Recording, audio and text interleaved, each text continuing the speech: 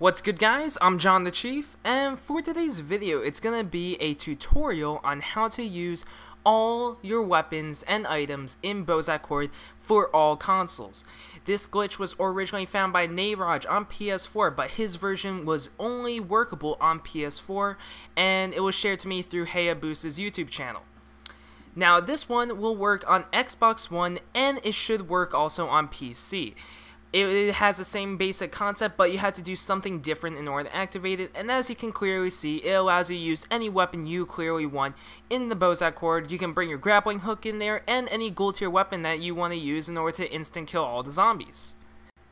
So, first things first, what you want to do is you want to press play campaign. You're going to press X or advanced and restart from the quest museum when you're in the quest, the museum, what you're going to have to do is get to the point where you're at the very end and you're in this area, you have to open up this door. Once you do that, you're going to quit.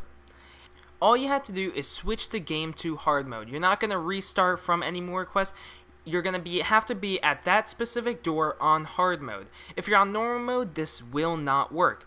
You're abusing the fact that the select screen can still be there and things can be going on in the game. Select is not pause, and that's what you need, and that's only viable in hard mode.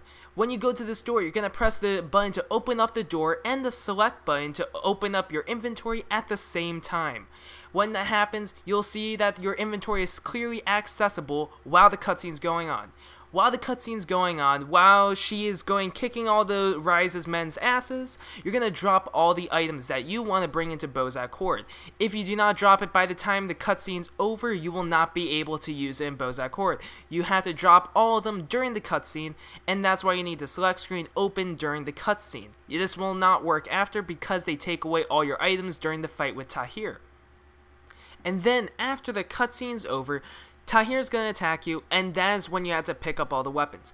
Try to pick up all the weapons while Tahir's alive, and try not to die while I haven't tried picking up the weapons after you kill Tahir, and I haven't tried doing it after I died. I haven't died doing this, but it, I have been close before, and try not to die because I think that might screw it over. Now, it can be kind of difficult, especially if you're on solo, so you might want to bring a buddy to do this with also there are a lot of items and sometimes it does glitch into Jade and one or two of them might not be obtainable so bring duplicates of stuff just in case like if you really want a grappling hook to bring in bring in like multiple grappling hooks and only actually use one and that is the tutorial for how to bring all the weapons in the Bozak Horde. Once you're done with this, you're just gonna go in the Bozak Horde and all the items will be.